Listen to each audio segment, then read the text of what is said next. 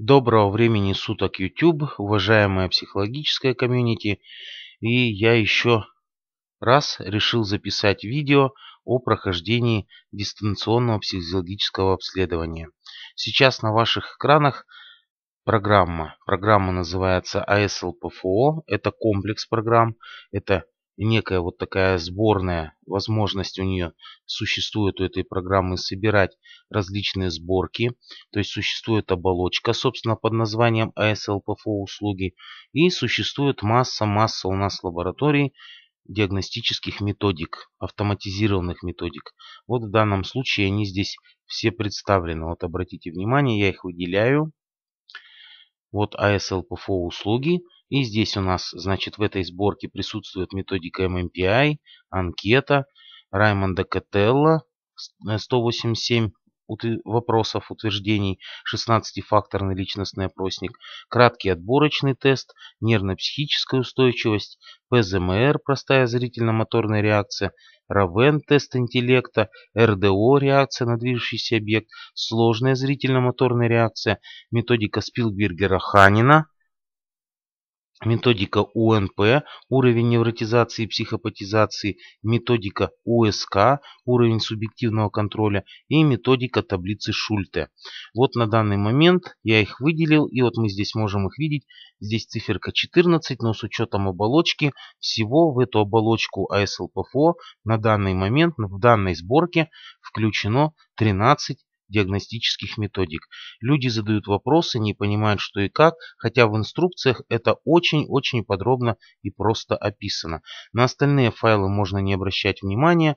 Здесь файлы базы данных, значит стимульный материал, числа, вот в частности стимульный материал методики Равена, э, стимульный материал методики э, таблицы Шульте и так далее. Ну, одним словом, при распаковке архива, то есть если вы получаете значит, наше программное обеспечение, оно обязательно в архиве. Архив не запаролен, ничего, соответственно вы его просто кладете на рабочий стол, в центр рабочего стола этот архив, и архиватором WinRAR или бесплатным архиватором 7-zip вы его можете разархивировать из этого архива и, соответственно, получить вот эту папочку. В данном случае это сборка для ООО есть такая организация ООО «Бюрократ». И вот мы сейчас им оказываем услугу, соответственно, эта сборка подготовлена специально для них.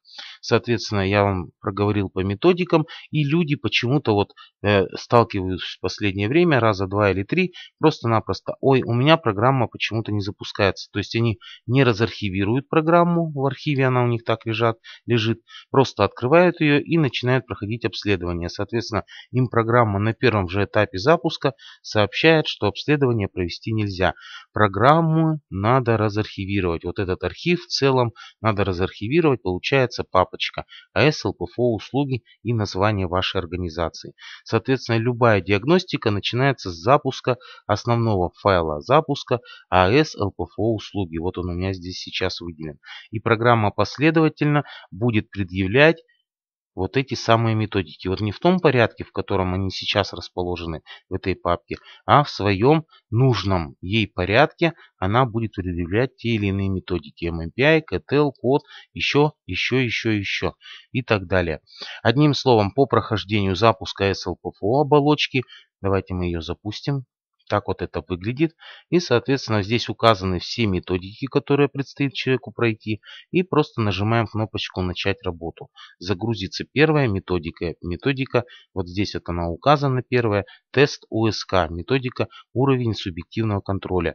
Затем пойдет методика, предъявится методика MMPI, проба ПЗМР и так далее, и так далее, и так далее. Очень важным моментом является то, поскольку это все последовательно будет предъявляться, очень важно после каждой методики, ее завершения, когда компьютер сообщит, программа сообщит о том, что методика пройдена, вы хотите продолжить, вы ответите ОК, результаты прохождения методики, ну, предположим, в данном случае УСК сохранятся, и автоматически загрузится следующая методика. Нажать надо будет выход, то есть э, окончание работы с методикой закончили, результаты сохранены программой в нужном ей месте.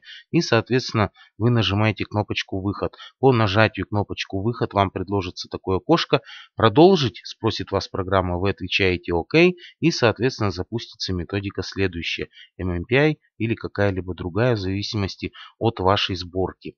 Ну, мы сейчас не будем проходить обследование, об этом очень-очень-очень много видео у меня на канале существует, можно посмотреть, но суть я вам пояснил еще раз. После закроем методику, после того, как пройдет человек, работник, специалист все методики. У него в папочке отправка, это самая главная папочка для человека, проходящего ПФО, появятся результаты. Появятся они, ну давайте его так назовем, вот создать какой-нибудь вот вордовский файл. То есть, предположим, да, он будет лежать в архиве. Давайте я даже заархивирую этот файлик. Добавить в архив.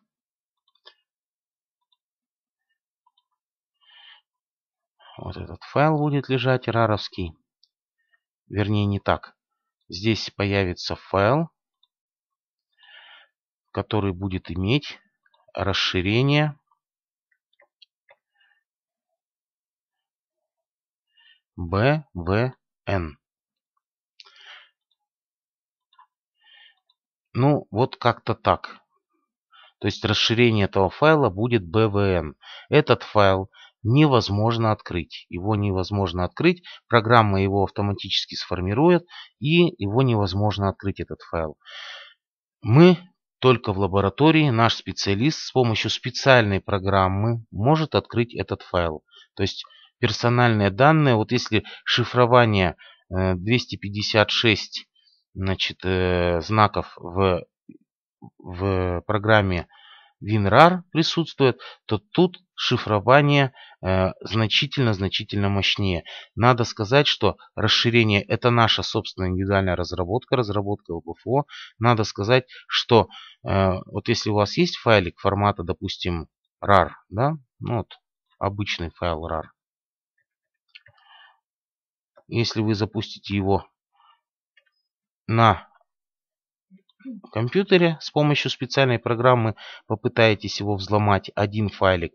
Если у него пароль, допустим, там 10-15 знаков, то вы сможете сделать себе такой подарок, открыть этот архив. А этих архивов здесь вот в этой папочке будет несколько десятков.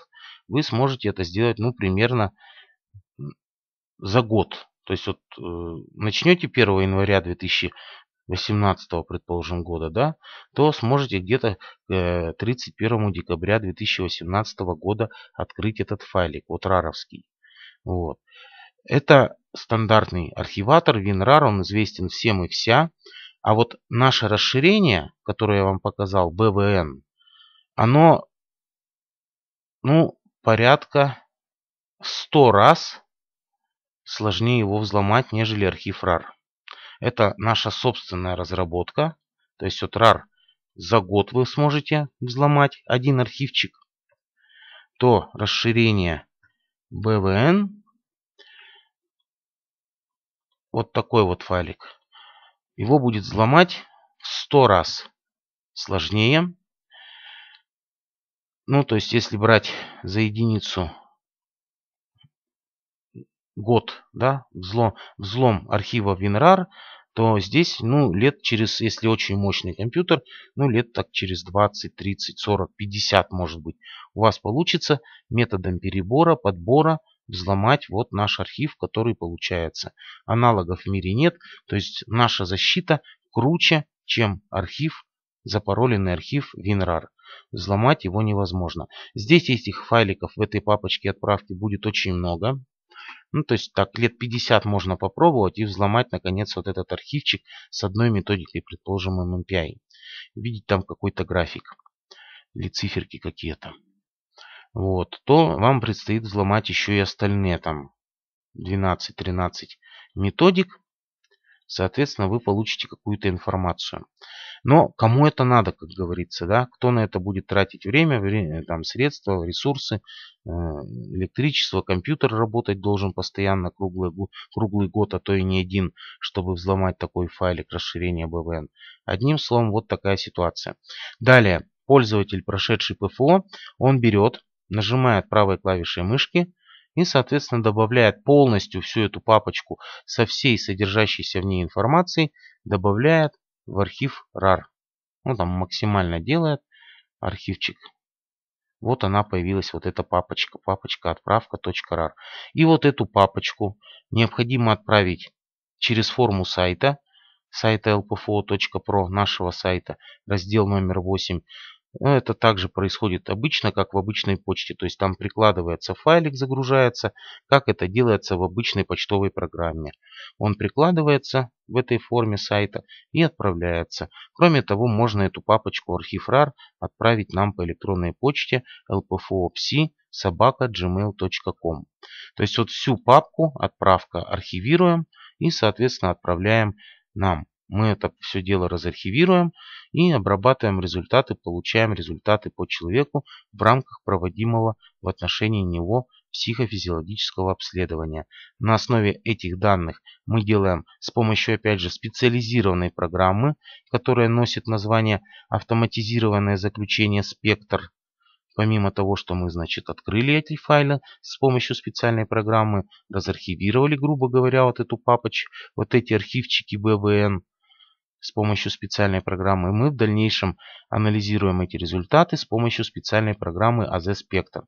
Формируем заключение по каждому работнику. На основании полученных в целом результатов оформляем справку ПФО при прохождении физиологического обследования в рамках контролирующей деятельности Ростехнадзора. Ну вот если так вот вкратце. Я об этом, в общем-то, уже говорил неоднократно, но в последнее время сталкиваюсь с тем, что все-таки вот есть вопросы у людей. Кто-то архив не разархивирует, кто-то не понимает, в инструкции первой строкой написано «Запустите файлик ASLPFO услуги», пытаются открывать как-то по-другому, еще как-то баловаться. Баловаться не надо, надо просто спокойно сесть, запустить файлик основной ASLPFO услуги, последовательно пройти вот эти самые методики, получить результаты в папочке «Отправка», заархивировать и отправить в наш адрес. Все. На этом задача психофизиологического обследования его прохождения завершена. Вот, собственно, и все. На этом все. Благодарю вас за внимание. Если будут еще какие-то вопросы, э, пишите мне на почту, звоните по телефонам, как-то интересуйтесь по-другому, в Вайбере, Скайпе, как угодно. Задавайте нам вопросы, если возникнут какие-то проблемы.